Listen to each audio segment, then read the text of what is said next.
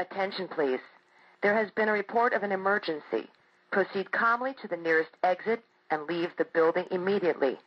Do not use the elevators. Use stairwells where necessary.